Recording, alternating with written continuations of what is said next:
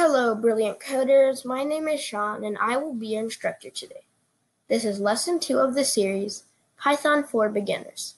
In this lesson, we will learn about the print statement, learn about comments, cover strings, Boolean values, floats, and integers, and we will end with discovering variables and even writing some of our own. So let's get started.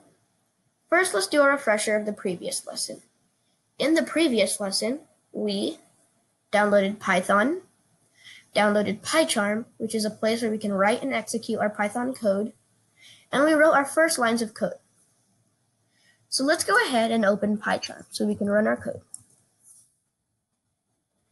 It'll take a second or two before it shows you that, and then it'll take another second or two before it loads.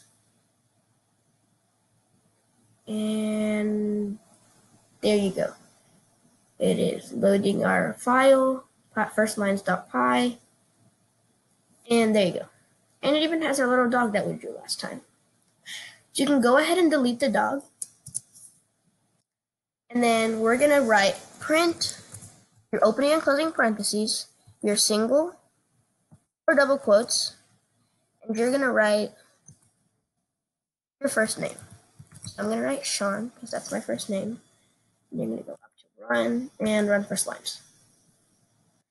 And as you can see, it has printed my name, Shawn. So, what truly is the print statement? Well, in no, no matter what website or software you're looking at, if it was made in Python, then they use the print statement to write it. Let's take the python.org website for example. As you can see, there are many paragraphs of words, there are even numbers. All of those were written using the print statement. So let's cover the difference right now between numbers and words.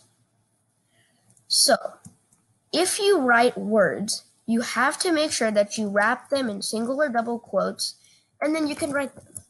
Let's just do that for an example. Run. As you can see, it runs flawlessly. However, if you miss the quotes and you just write the things, let's go ahead and type Shawn, and then you try to run it, as you can see, you have a name error. Name Shawn is not defined. So you always you always have to make sure you wrap your name or whatever you're writing using the print statement if it's a word in quotes. So what about numbers? Well, numbers, as you can see, if I wrap them in quotes, and then I try to run it, it runs flawlessly.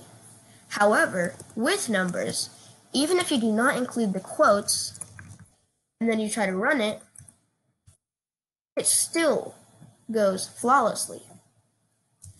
There is one exception to this rule, however. If you do start in zero, and then you try to write something, and then you try to run it, as you can see, leading zeros into decimal integer literals are not permitted you have to use a zero, zero prefix for octal integers. So if you are using a zero, I would highly recommend going ahead and putting, putting them in quotes and then running them because it is far easier to do it that way. Okay, so let's move into comments. What are comments? No, I'm not talking about the comments in the YouTube videos. I'm talking about comments quite literally in Python. So what a comment really is, is basically a line or lines of code for you to know what your section of code is.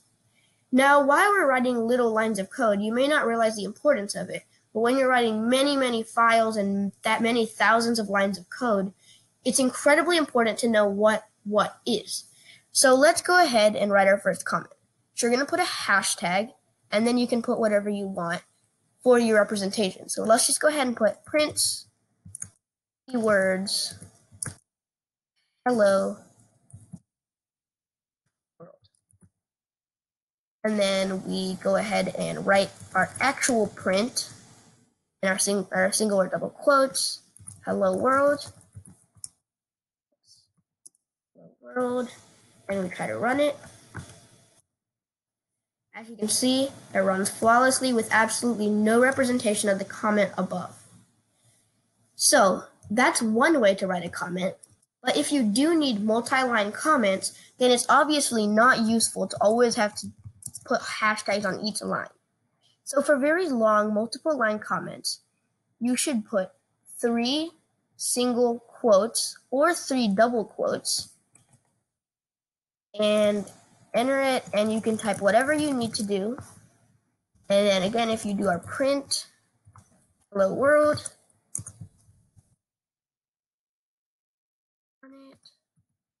as you can see, no representation whatsoever of the comment. So that's those are the basics of comments. Now moving on to strings. What are strings? Well, computer programmers refer to blocks of text as strings. As, as you remember in our last in our last exercise, we created the string hello world. In Python, a string is either surrounded by double quotes or single quotes, as we already discussed. It doesn't matter which kind you use, again, they both have the exact same effect, you just have to be consistent so you don't mess up. So I'm just going to go ahead and remind you again. Single quotes. We'll put Shawn on it. Again, flawless. We'll put double quotes. And flawless again. No effect whatsoever. So those are the basics of string. Strings. Now let's move on to uh, integers and floats. So what are those? Well, integers, as you may know by the math term, are really any number that is not followed by a decimal or is not a fraction. So, if I put print integer, let's put 20, and I put one, there you go, 20. Now this is very useful in really long lines of code, as you will notice throughout this course. But for now, you can always just go ahead and put your normal print 20 and again, no effect.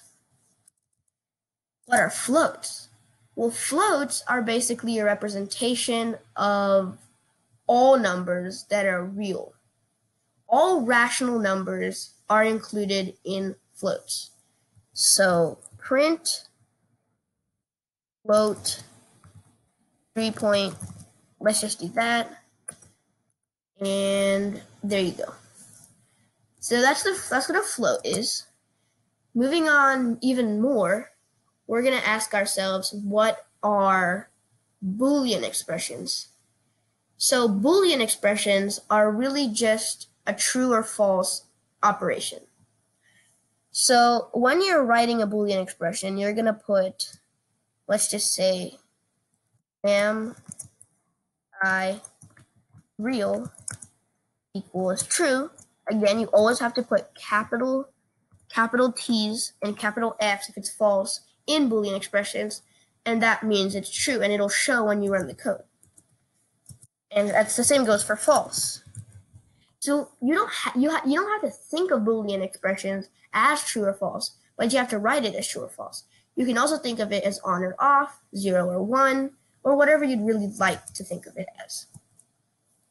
Okay, so since we were doing that, let's go ahead and move on to variables. What are variables? So, programming languages offer a method of storing data for reuse. If there is a greeting we want to present, a date we need to reuse, or a user ID we need to remember, we can create a variable which can store a value. In Python, we assign variables by using the equals uh, sign. Let's go ahead and just put your first name equals, we're going to just put the string hello world. And then let's go ahead and put a comment, print hello world. And then let's go print, and let's do Shawn, or whatever, oh, excuse me, not, no quotes. You're to go ahead and print whatever your first name was that you put, and you're to run it, and voila, it prints hello world. So in that example, we stored the message hello world in a variable called Shawn or whatever your first name was. Variables cannot have spaces or symbols in their names other than an underscore. So if you need if you do need multiple words, then you have to space them using an underscore. So let's do Shawn eats apples. And if we change it to Shawn eats apples, As you can see, no effect. Still has the hello world. However, if I did take out the underscores, the underscores here, and then I try to run it, as you can see, there is an error because, in fact, it is invalid syntax because you cannot have spaces or else Python thinks it is multiple variables. So Python eats apples. I mean, excuse me, Shawn eats apples. Put the underscores back. Okay, and moving on. There again, there's no coincidence that we call these things variables. If the context of a program changes, we can update a variable but perform the same logical process on it. So let's go ahead and do another example. So let's put greeting. Then we're just going to put your first name, Shawn. We're going to put hello world. And then we can do print. And we're going to go ahead and put Shawn or whatever your first name was. And then let's do another one. So we're going to do farewell. And then go ahead and put your first name again in the exact same way you did earlier.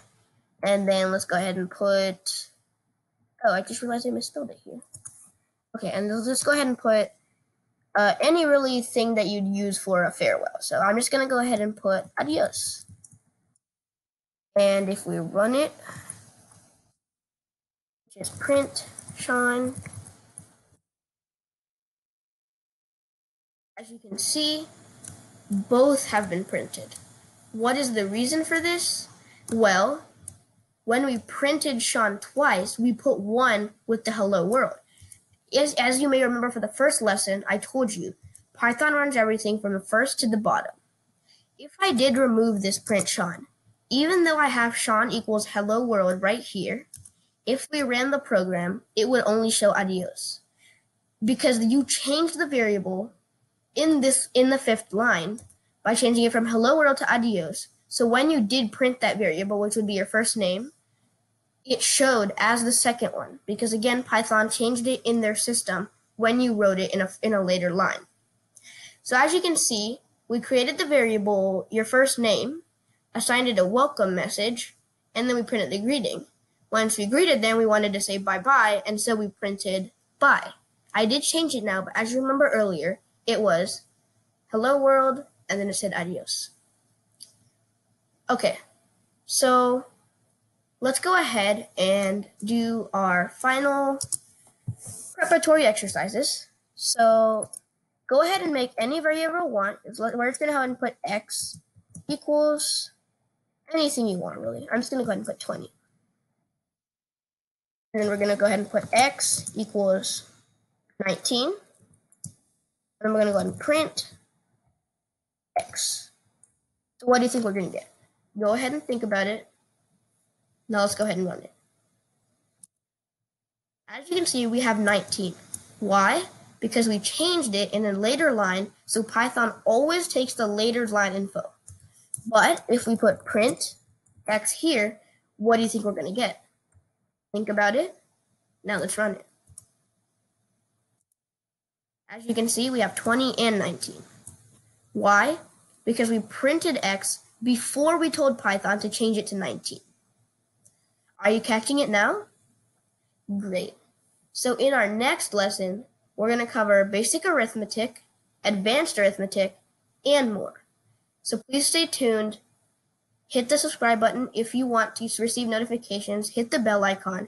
If you liked the video, please like it. If you didn't like it, feel free to dislike it and see you next time.